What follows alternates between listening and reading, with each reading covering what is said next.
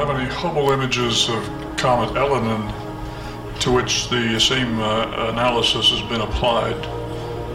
Elenin, of course, was a comet that was discovered far out. It sort of promised to be very bright, but then it dissipated at around 2 AU.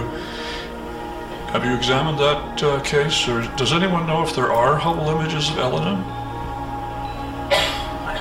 Maybe there aren't. I, I don't. Somebody else? Okay, because I'm, uh, this is beginning to make me a little uneasy in, in the sense that I'm wondering now whether this, uh, this comet ISON could in fact be a dust ball. Yeah, certainly. I, w- I want to say that the high resolution of Hubble, I mean the measurement of the nucleus, could help because it has super high, I mean super small pixel pixel size at the nu- at the comet. Right. For our case, our pixel size is 120 kilometers when the comet was at 4.15 AU. But then, um, then when it's close, that's gonna be definitely gonna be help.